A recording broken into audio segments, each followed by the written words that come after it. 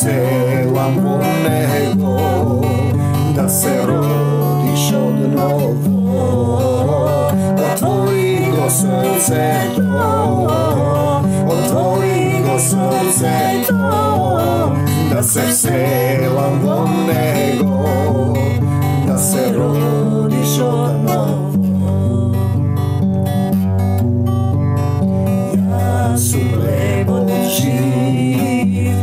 слезе од небото Ако срцето ви е отворено, а, ми бие сонце, мирот Исусов нека преиде на вас. Мирот свој ви го давам. Те сакам, Господ Исусе Христе. Врвам по Тебе, светоли, Сусе. Царството Божјо е внатре во мене. Ти предавам се, се што имам. Се ми даде ти, твој сум за навек. Исусе, со тебе можам се. Бегај од мене, сатано, и не враќај се. Исусе, со тебе можам се. Бегај од мене, сатано, и не враќај се. Една од последните песни што слезе. Татко мој, Оче, Твојот син пред Тебе коленичи, те љубам, го љубам Исуса, да зборува низ мене Твојот дух, Ти благодарам што го даде Твојот син Исус да не научи да се љубиме еден со друг, за споровите пред суд, да си простуваме и да не осудуваме. Дали некој од вас, прво Коринтијаните 6 глава, апостол Павле, кој го сонуваше македонецот, а дојдува денеска незнабошци околу нас, непокајани народи, да кажат нема македонци. Има, македонец е човек кој го повикува Исуса. Исусе, дојди во Македонија и помогни ни. Само тоа што е во мене суштествува. Тоа беше по една објава, по една молитвена средба. Дали некој од вас Значи, отчитување на духот. Дали некој од вас, кога има спор против друг, би се осмелил да се суди пред неправедни, а не пред свети. Значи, неправеден, неправеден. Пазете, одиш по земни судови, христијани се судат, знам такви, дури и во заедници. Не знаете ли дека светиите ќе го судат светот? Ако Исус живее во тебе, Он ќе суди од тебе. Но не ти да осудуваш. Не зборуваме оправдани сме, еднаш праведен за секогаш праведен. Оправдан си ако си во Исус, ако тој живее во твоето срце, инаку ти самиот по себе си си грешен. Не знаете ли дека светиите, слава ти Господи Исусе Христе, ти зборове низ мене, нека секој збор, секој слово ги допре сите оние кои ќе речат Исусе, Исусе помогни ми да ја излечам болката од телото, од душата. Научи ме да пораснам во љубовта. Ако пак вие го судите светот, не сте ли достојни да судите за помали работи? Зборува за осудување и го имаме тој принцип не судете, не судете, а сепак судат. Лидерска конференција на заедница во Скопје осудува еден проповедник кој не припаѓа на нивната. И се што друго да се каже? Вие судете се внатрешните, а Господ ќе ги суди на дворешните. Не знаете ли дека ангели ќе судиме? Кои ангели? Па паднатите ангели, вие сте тоа. Демоните на Сатанас, а не пак на секој дневното. Ако го имате спор за работи од овој свет, за суди земете ги оние кои во црквата се сметаат за беззначајни. Па моли го Исуса да му даде дух, да зборува низ духот. А тој зборува за црква, за заедница Исусова, не за деноминација, во која духот управува со нас, во која сме ние еден дух. Сите сме во тој дух. И кога ние се разбираме, нема надпревар, нема завист. За ваш срам велам, зар меѓу вас нема мудар кој може да расуди меѓу браќата своји? И сега тие се расправаат, се судат, се лутаат ако ги укориш. Не сака да се промени, одат во заедници каде што не ги тераат да се променат. Негде кај што вршат обреди, негде како во театар слушаат проповед, пеат песнички си одат дома и не сака да се остави себе си, не сака да се промени. Брат со брат се суди. Тоа пред неверници. Во една црква заедница на суд се, значи, водачите на заедницата. Сигурно има многу примери. А законот без Исус е не судете, за да не бидете судени. Со каква мерка мерите, со таква ќе ви се мери. Со каков суд судите, со таков ќе ви се суди. И тогаш кога ќе знаеш дека ти сами од себе си се судиш. Те сакам Господ Исусе Христе. Исус е судијата, учителот, Отецот, Татко Небесен, Татко. Отецот пребива во дух во Исус. Многу срамно е веќе тоа и за вас што имате спорови меѓу себе. И го имаме тој стих, што меѓу вас има завис, кавга и неслога. Се уште сте телесни. Зошто поскоро не ја претрпите неправдата? Еве го стихот. Зошто поскоро не ја претрпите штетата? И ќе ви кажам состојба. Значи, таму каде што работам 15 на години, може би и повеќе, не се исплаќа минат труд. И сега нашата сестра ме тера во Христа, која е адвокат, да тужам. И јас ја неки ја претрпам штета. Еднаш ми рече таа, друг човек ми рече уште еднашка, неки ја претрпам штетата и потоа добивам, пазете, значи системот толку е влезан, ја претрпувам штетата, малку се поднервирувам, Исусе дај ми сила, Некој, например, ти краде дрва, му простувам веднаш, ништо не е твое. И сега, добивам глас, од мене крадат, вели Исус. И се задрмав. И сега сум на суд. Значи, парите што треба да ми ги исплати државата, што сум ги сработил, а бидејќи јас му припаѓам на Исус, така го донесов тој момент. Значи, не сакам да судам, но вие сами, зошто поскоро не ја претрпите штетата? Мислев да ја претрпам. Но доби водство од Исус, од мене крадат бидејќи јас му припаѓам на Исус. Тие крадат од Него. Но вие сами навредувате. На вратата тука ќе залевам, овој дом му припаѓа на Исус. И им кажувам на соседиве. Не знам што да кажам. И кој ќе ми рече ова, ќе се викам, јас му припаѓам на Исус, домот мој му припаѓа на Исус. Дали сум се осигурал? Така Исус. Кај Исус сум осигурал. Но вие сами навредувате и нанесувате неправда. Сами навредуваме, ограбуваме, браќата свој, слушаш проповеди од други, пренесуваш на трет. Па тоа е прелюбодејство. Слушаш човек, од кај знаеш дали е тој во духот, и ти тоа после го, го фотокопираш, го преумножуваш. Наместо во духот да бараш, ако си таму, за учител, он поставува учители. Или не знаете дека неправедните нема да го наследат Царството Божио. Неправедни, Сами навредувате, нанесувате неправда, ограбувате. А зборуваш дека си христијанин. Колку љубов има во твоето срце. Колку капки. Треба да ја прелева жива река да тече од твојата утроба. Не знаете дека неправедните нема да го наследат Царството Божјо Не лажете се, неправеден што значи? Па тоа што си ти без Исус. Тоа што ти мислиш дека си во Исус и велиш дека си еднаш оправдан, за секогаш оправдан, значи пак ќе дојдем до тој. Дошол, значи еден верник му кажува на пасторот, грешен сум, грешен сум. И тој му вика, не си грешен, оправдан си, праведен си. Еднаш праведен, за секојаш праведен. И тој пак грешен сум, грешен сум. И тој му вика, ти си праведник кој греши, за да ја оправда доктрината.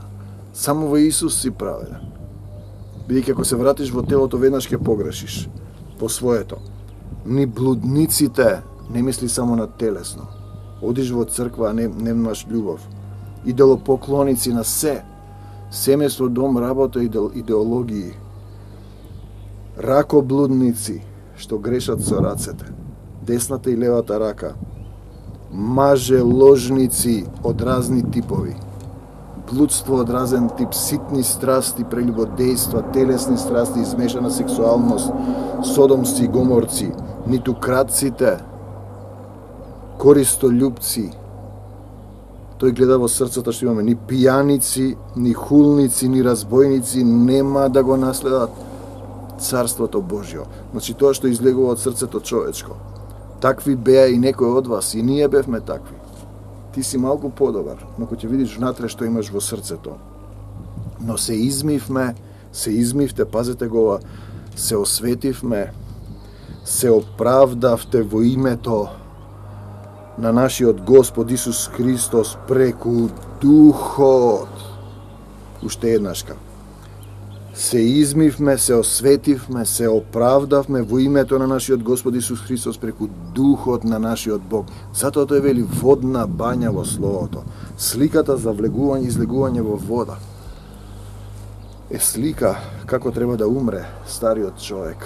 На физичкото капење го капеш телото и духовно капење во водна бања. Се ми е допуштено но не е се полезно. Можеш да правиш се што сакаш, имаш слободна волја, сатаната ќе те свлечка, но ништо не сакам да завладее над мене. Ништо освен Исус, само мислам на Исус, се држам за Исус. Постапувам како Исус, барам помош кога излегувам. Не сакам да сум зависен од ништо освен од Исуса.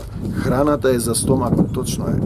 Стомакот е за храната, но Бог и неа и него ќе ги уништи. Телото заминува телото не е за блудство. Ме прашуваше вчера една сестра за разговаравме за сексуалната врска.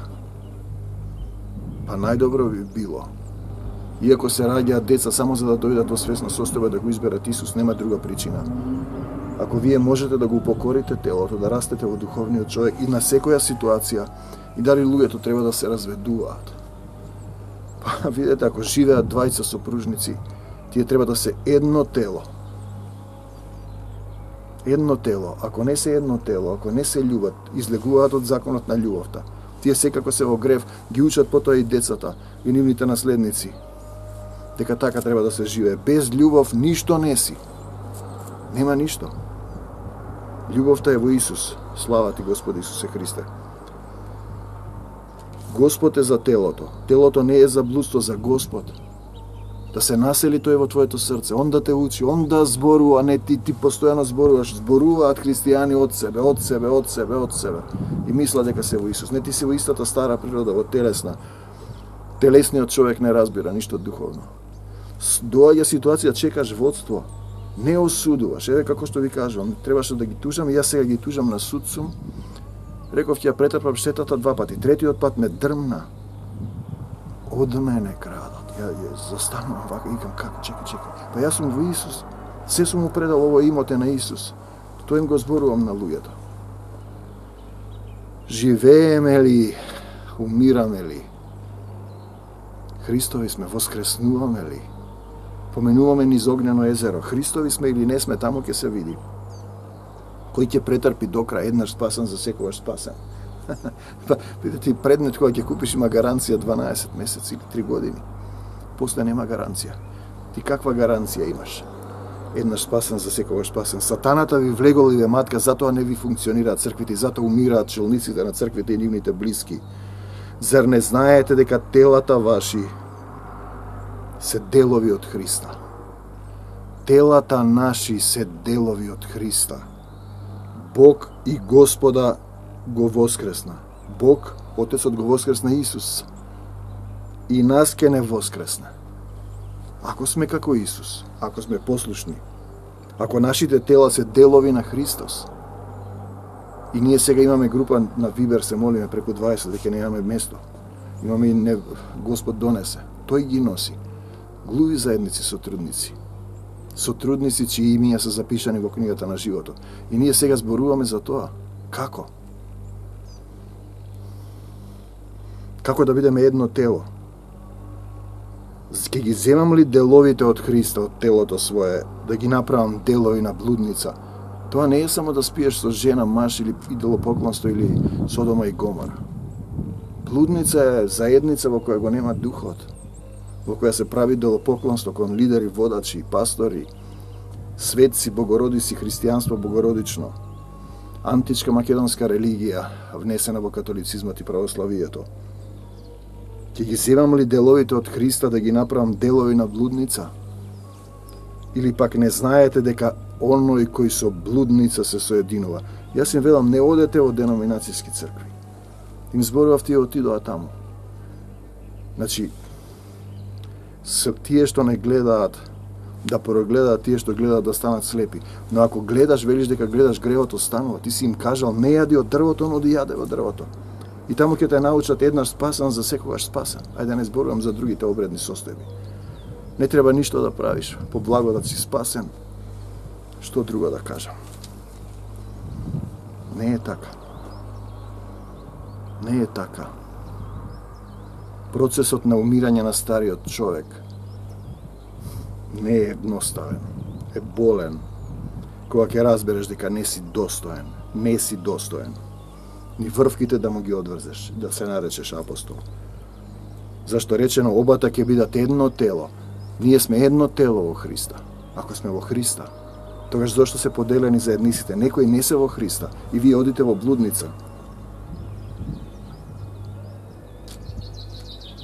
Слава ти Исусе. Кој се соединува со Господ, со Отецот, еден дух е со Него. Ако сме еден дух, ние ќе се препознаваме. Многу заедници се без духот, кои имаат духот на овој свет. Мислат дека се христијани, затоа умираат и се болни. Тоа е аларм и благодат. Бегајте од блудство, секој грев што го прави човекот е надвор од телото. Христово мисли. Правиш грев, блудникот греши против своето тело, доаѓал кај нас, му викам, се молел, еве, машки, женски, крстени се спасени, и одеднаш заминува првата причина, некој му забранува, некој се налутил, и не се свртува. Значи, не било едно тело. И ние се молиме, кој е за да остане, да остане, кој е да си замене, да си замене. Не можеме ние да се лажеме. Ние сме мала борбена Христова единица, зашто така сака Исус. Се молиме во потреба ловци на луѓе. Ние само сееме. Исус е жнејачот со Отецот и ангелите. Не знаете ли блудникот греши против себе си, против своето тело. Ке требаат многу време без Исус да се оплати. Не знаете дека вашето тело е храм. И овој стих го цитираат на Светиот Дух. Кој живее во вас, Самиот дух што си ти роден, што си жив, е духот на Отецот, но тоа е мало жарче кое се гасне. Секој ден гасне, имаш време за милост, време да се покаеш, дека не припаѓате само на себе. Тоа е суштината. Ако духот живее во тебе, ние ќе бевме една заедница, земјата ќе одеше напред. Тие со духот на овој свет, со доктринарно христијанство, поделени заедници, со човечко читање, ништо не разбираат, го проучуваат писмото, мисле ќе им даде живот вечен а не доаѓаат кај Исуса. Исусе, еве сум пред Тебе. Не можам сам, не знам ништо, покажи ми, не сум достоен. Или не знаете дека вашето тело е храм на Светиот Дух кој живее во вас и ни е даден од Бога и дека не припаѓате само на себе. Не припаѓате само на себе. Целата суштина е припадноста да ја вратиш во Отецот. Се што имаш. Он е твојот собственик, затоа стануваш раб Божји послушност и покорност е потребна. А потоа стануваш слуга Божји. сакаш да служиш, па сотрудник со срцето служиш, па со наследник работиш за Царството Божјо, па си пријател Божји, се ќе извршиш што ќе ти каже. Потоа си син Божи, горе на небесата, знам еден човек во тело или без тело, на третото небо, зашто скапо сте платени Затоа прославете го Бог Отецот во своите тела и во своите души, кои се Божји. Дали вие тоа ќе го признаете или не? не ја менува припадноста и собственоста. Вие мислите дека сте сами собственици, дека сте во, вие сте во сатанското ткиво, зашто сте оттргнати од Бог.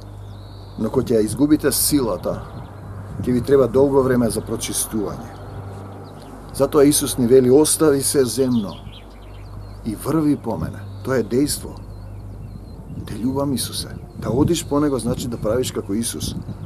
Не е еднаш спасен за секогаш спасен, не е по благодат сме спасени и готово, не треба ништо да правиме. Еднаш праведен за секогаш праведен. Но што е тоа што треба да го оставам? Што е тоа се што треба да го оставам, татко мој? Зошто морам да оставам се? Мислете, на небесното, а не на земното. Ние мислиме како дека овде ќе живееме вечно. Собирајте богатство на небесата, не на земјата. Собирајте во срцето ваше дела на љубовта да кон се, кон сите. Да оставиш, да се ослободиш, да се одврзеш, да мислиш и да го бараш Царството Божјо и ветување дека се друго ќе ти се придоде. Еве јас ви кажувам дека е така. Сето тоа тече. Значи јас не сум некој екранапче на црква надвор. Некоја заедница која финансира мисија во Македонија. Не сум таа големата црква што наплаќа обреди. И Исус е таму негде далеко тие се занимаваат со светците и со богородично христијанство, со античка македонска народна култура. Оставаш се и се ти се придодава. Се оставаш сами од себе си, тоа е тоа се.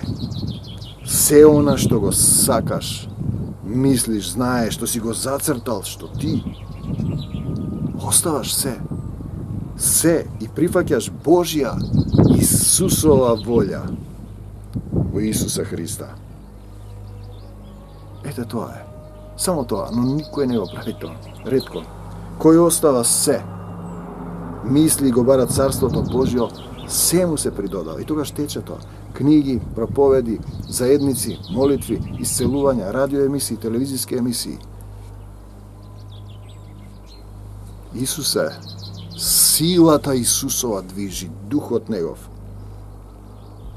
така избираш дека во Исус, со Исус, со Тебе можеме да направиме се, Господе Исусе Христе. Без Тебе не можеме да направиме ништо. И они мислат дека без Него само во мислите и затоа нема ништо. Оти ако љубов немаш ништо, не си Исусе те љубам. Дали треба да се разведуваат? Па ако нема љубов, тие се надвор од законот на љубовта, не се едно тело. Едно тело со Исус се мисли. Ако едниот во Исус треба да го привлече другиот, а не тој другиот да те привлече тебе. Исусе те љубам, ти си тоа се што ни се придодава. Исус, синовите човечки се врзани за себе, за земното, како да ќе живеат на земјата довека. Сите знаете дека умираат луѓето, еве. Овде сме привремено, привремено, кратко време, во време за милост да оставиме се, сатаната е паднат на земјата, има малку време, и да врвиме по Исус, по Исус да врвиме, да действуваме, да бидеме ловци на луѓе, да научиме да љубиме, да се оставиме себе си, се да оставиме на крстот, да умре стариот. Тоа е вистина, не е приказна, не е поезија, да се родиме во Исус и тоа е болен процес. Он да зборува низ тебе, а тие се врзани, зборува за христијани, за дом, жена, деца, работа, свој живот, деноминација, чинови во деноминациите, а животот не е твој, си го добило дувна дух и имаш малку време, сине човечки, да се преродиш се што стои меѓу тебе и Исус е идолопоклонство. Тоа подразбира и доктрина во црквата. Лик над зверот на кој несвесно, телесно си му се поклонил.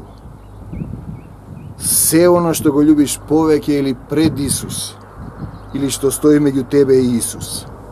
Сето тоа, ти што го сакаш, ти што мислиш, твојата волја, не неговата. Остави се, синко. Не може Исус да се насели во твоето срце ако не се испразниш од сите глупости. Се земно остави, собирај богатство на небесата, чекорејки како Исус. Остави се себе. Облечи се во Исусовата љубов. Ете, тоа е процес, ама треба да се научи како.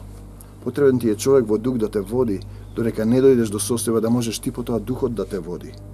Оти ти мислиш дека духот е само така, декларативно. Примаш Исус, примаш таа, працете готово, крстен, ајде.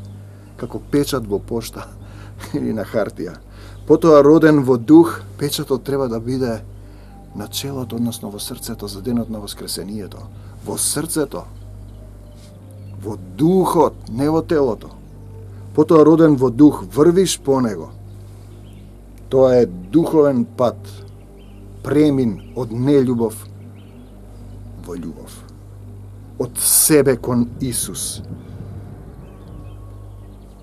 Одоставено се, до секе ти се придодаде го бараш Царството Божио, жеднееш за Него. Жедните и бедните по дух блажени се и секе ти се придодаде. Тоа се што се придодава е Исус во твоето срце, жива река која навира, која продира, чашата на благослова што се прелева. Врвам по тебе.